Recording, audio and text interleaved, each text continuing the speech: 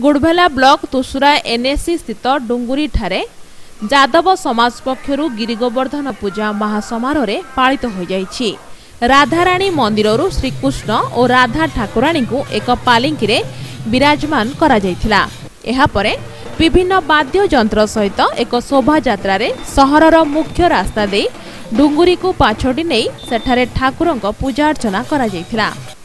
ଏହି ଅବସରରେ ଟିଟଲାଗଡ଼ର ପୂର୍ବତନ ବିଧାୟକ ସୁରେନ୍ଦ୍ର ସିଂ ଭୋଇ ଯୋଗଦେଇ ଗୌଡ଼ ସମ୍ପ୍ରଦାୟର ପାରମ୍ପରିକ ବାଡ଼ି ଖେଳ ଖେଳିଥିଲେ ଗୁଡ଼ଭେଲା ବ୍ଲକରୁ ମନୋଜ କୁମାର ଜୈନଙ୍କ ରିପୋର୍ଟ ଲାଇଭ୍ ଓଡ଼ିଶା